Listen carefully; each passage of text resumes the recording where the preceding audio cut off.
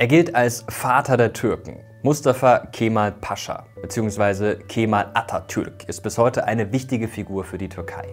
In diesem Video erklären wir euch, wie der Soldat den heutigen türkischen Staat gründet, welche Reformen er anstößt und wie er zum Vater der Türken wird. Denn nichts anderes heißt Atatürk übersetzt. Alles, was man dazu wissen sollte, jetzt. Mustafa Kemal kommt im Jahr 1880 oder 1881, so genau weiß man das nicht, in Thessaloniki, also im heutigen Griechenland zur Welt. Das wird einige vielleicht erstmal erstaunen. Der Vater der Türken wird in Griechenland geboren? Genau genommen wird er im Osmanischen Reich geboren, einem Vielvölkerstaat, in dem damals in der Gegend um Thessaloniki mehrere Volksgruppen zusammenleben. 1896 tritt Mustafa Kemal in die Kadettenschule in Manastir ein. Das liegt im heutigen Staat Nordmazedonien. Hier kommt er mit nationalrevolutionären Ideen in Kontakt. Mustafa Kemal gelangt zu der Überzeugung, dass westliche Ideen der Aufklärung, der Trennung von Staat und Religion und der Reform in wirtschaftlicher und vor allem gesellschaftlicher Hinsicht den Staat retten können. Denn das Osmanische Reich befindet sich zu diesem Zeitpunkt bereits in der Krise. Man spricht vom kranken Mann am Bosporus. Als junger Hauptmann schließt er sich den Jungtürken an. Dazu findet ihr einiges in dem Video zum Untergang des Osmanischen Reiches. Einfach hier oben auf das i klicken. Im Unterschied zu diesen Reformern, den Jungtürken, will Mustafa Kemal aber nicht das Vielvölkerreich umbauen. Er will eine Konzentration auf die türkische Nation. Er möchte einen ethnisch homogenen Nationalstaat gründen. Angesichts der Schwäche des Sultans sagt Mustafa Kemal es so. Man muss das Gesindel hinwegfegen, das uns regiert. Die Türken müssen lernen, sich selbst zu führen, ohne fremde Wirtschaftshilfe und Einmischung. Die Türkei muss den Türken zurückgegeben werden. Während des Ersten Weltkriegs kämpfte er als Divisionskommandant an den Dardanellen, als ein Landungsversuch der westalliierten Truppen scheitert. Ein Unternehmen, bei dem auf beiden Seiten Hunderttausende umkommen. Von einem Sieg zu sprechen ist daher schwierig. Trotzdem geht Mustafa Kemal als Held aus der Schlacht, wird zum General befördert und bekommt den Ehrentitel Pascha. Als nach dem Ende des Krieges die Bedingungen der Siegermächte durchgesetzt werden sollen, ruft der Sultan seinen General zu Hilfe aber der hat was anderes im Sinn. Kemal Atatürk meint, dass der Herrscher das Land an ausländische Mächte verkaufen würde und leistet Widerstand. Einmal kämpft er gegen den Sultan, zum anderen gegen griechische Truppen, die an der Westküste einmarschieren. In den Jahren 1919 1920 beruft er einen türkischen Nationalkongress ein, an dessen Spitze er selbst steht. Er gründet eine Gegenregierung. Einfach gesagt, in Ankara regiert Mustafa Kemal Pascha, in Istanbul der Sultan. Ende 1922 muss der Sultan schließlich einsehen, dass er verloren hat und flieht. Im türkisch-griechischen Krieg vertreiben Kemals Truppen die Griechen von der kleinasiatischen Küste. Dabei gehen sie sehr brutal vor. Kemal schafft es parallel, wenngleich natürlich nicht nur er allein, dass die Siegermächte des Ersten Weltkriegs die Türkei in ihrer heutigen Form als Staat anerkennen wollen. Es wird weder einen armenischen noch einen kurdischen Staat geben, keine von Westmächten oder Griechenland besetzten Gebiete. Kemals Kampf wird von seinen Anhängern als Befreiungskrieg wahrgenommen. Aus der Asche des zerstörten Osmanischen Reiches erhebt sich wie ein Phönix die Türkei Cumhuriyeti, die Republik Türkei. Am gleichen Tag der Staatsgründung, am 29. Oktober 1923, wählt die Nationalversammlung Mustafa Kemal zum Präsidenten. Umgehend beginnt er mit seinen Reformen. Und die sind tiefgreifend, wenn auch manchmal eher von großem Symbolcharakter. Die islamische Zeitrechnung wird durch den westlichen Kalender ersetzt. Statt der osmanischen Schrift gilt jetzt das lateinische Alphabet. Kemal schafft zwei Institutionen ab. Den Sultan, also den Herrscher, und den Kalifen, der weltliche und geistliche Macht vereint. Die Osmanen beanspruchten als Kalifen die Führung über alle sunnitischen Muslime. Die uralte Metropole Konstantinopel, die später in Istanbul umbenannt wird, ist nicht mehr Hauptstadt, sondern Ankara. Am wichtigsten ist Mustafa Kemal Pascha die Zurückdrängung der Religion. Die Türkei soll ein säkularer Staat werden. Im Osmanischen Reich behaupten die verschiedenen Religionsgemeinschaften innerhalb ihrer Gruppe eigene rechtliche Vorschriften. Das gibt es jetzt nicht mehr. 1924 wird das Amt für Religionsangelegenheiten geschaffen. Kurz sagt man das Dianet. Das ist eine staatliche Aufsichtsbehörde, die die Religionsgemeinschaften kontrolliert. Staat und Religion sind nicht getrennt, sondern der Staat steht über der Religion und beaufsichtigt sie. Das Amt gibt es heute noch und es hat auch einen Ableger in Deutschland, nämlich die Türkisch-Islamische Union der Anstalt für Religion, kurz DITIB. Kontrolle über Religion bedeutet nicht, dass man den Menschen in ihren Häusern nachschnüffelt, wie sie ihre Religion genau ausüben, aber öffentlich darf die Religion nur noch praktiziert werden, wie es vom Staat erlaubt ist. Atatürk meint das sehr ernst. Geistliche, die sich widersetzen, werden bestraft und sogar exekutiert.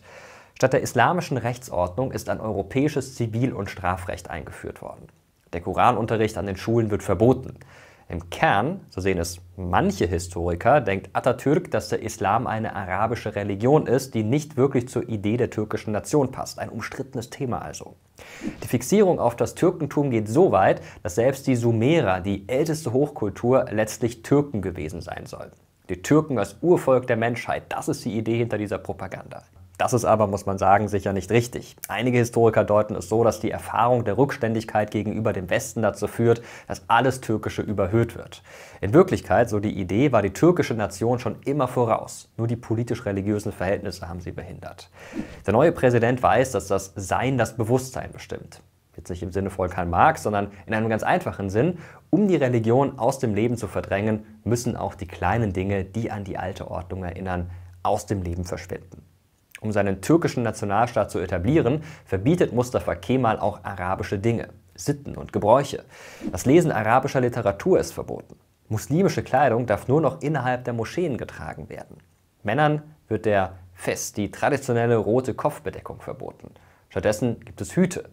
Frauen wird der Schleier verboten. Sie erhalten das aktive und das passive Wahlrecht. Um das Türkentum zu fördern, lässt der Staatspräsident die türkische Sprache säubern. Persische und arabische Wörter sollen aus dem Wortschatz gestrichen werden.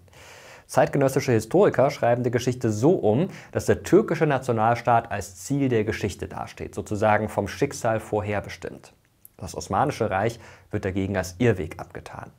Opfer dieser Herstellung der türkischen Nation sind die Minderheiten, die im Land leben. Oder auch Menschen, die sich mit Veränderungen, ganz besonders mit schnellen Veränderungen, schwer tun. Zum Beispiel mit der Idee, dass im Nationalstaat Türkei eine türkische Nation lebt. Aber stimmt das so? Was ist beispielsweise mit den Kurden? Ich weiß, es ist ein Thema, das extrem emotional diskutiert wird. Wenn ihr wollt, dass wir uns mit diesem Komplex mal genauer in einem Video beschäftigen, dann schreibt es gerne in die Kommentare, dann kümmern wir uns darum. Klar ist auf jeden Fall, die Nationalitätenkonflikte in der heutigen Türkei sind wie die Konflikte um den Status der Religion ein Erbe der kemalistischen Politik. Die Politik Mustafa Kemals wird als Kemalismus zusammengefasst. Was ist das? Eine Ideologie, ein philosophisch-politischer Plan oder eher ein Sammelsurium verschiedener Reformideen, denen man eine Überschrift verpasst?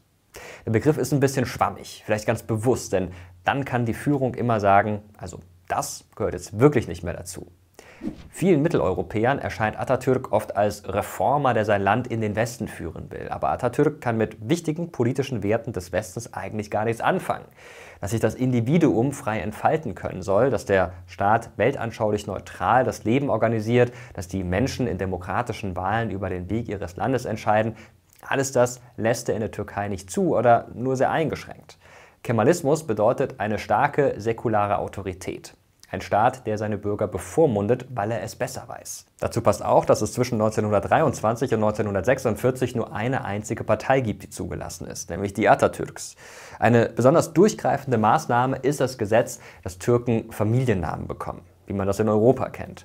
Wer bis zu einem bestimmten Stichtag keinen Familiennamen ausgewählt hat, das muss ein türkisches Wort sein, der bekommt zwangsweise einen von der Verwaltung verortet.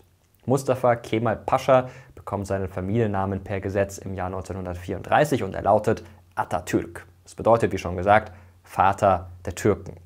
Wie er sich selbst sieht, erkennt man an einem Zitat Mitte der 1920er Jahre. Atatürk war da gerade einem Attentat entgangen und hat gesagt, ich bin die Türkei. Mich vernichten wollen bedeutet, die Türkei selbst vernichten zu wollen. Sie atmet nur durch mich und ich lebe nur durch sie.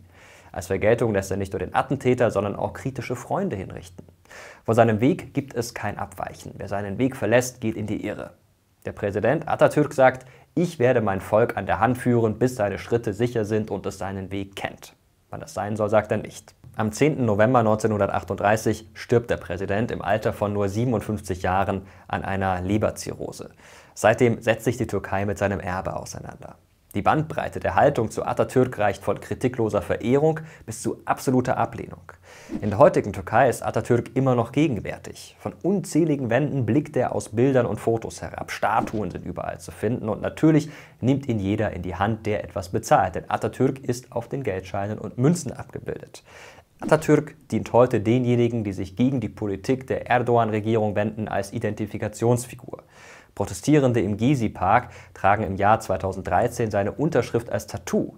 Die Regierung unter Recep Tayyip Erdogan bezeugt dem Staatsgründer ihre Verehrung und bekennt sich gleichzeitig zum Islam, aber sie dreht auch konsequent einige der Reformen zurück. Zuletzt die Maßnahme Atatürks, dass die Hagia Sophia in Istanbul ein Museum sein soll. Auch dazu haben wir ein Video gemacht. Oben auf dem i ist es verlinkt. Mich würde mal interessieren, was meint ihr?